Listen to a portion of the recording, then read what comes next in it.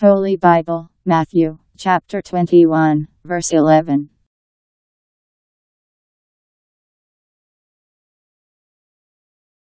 And the people said, This is the prophet Jesus, from Nazareth of Galilee.